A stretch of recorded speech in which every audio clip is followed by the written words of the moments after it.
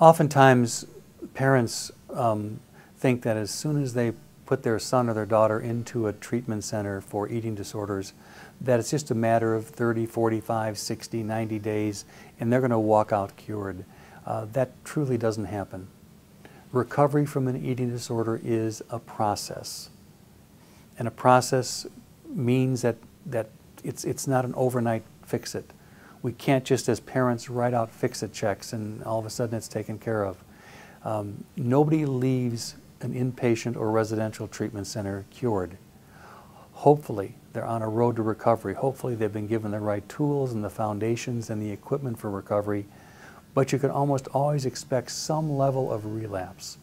Some of those old dysfunctions, some of those old behaviors are going to be hanging around. And it's important as parents to not be frustrated or, or overly concerned, but to be patient through this process of recovery. It is so important when um, individuals leave treatment for an eating disorder that they will continue on with ongoing care. Ongoing professional therapist, possibly a psychiatrist might still be needed for medication monitoring, uh, a nutritionist, continued care, hopefully less and less as each month goes on, um, but it will take a little bit more time.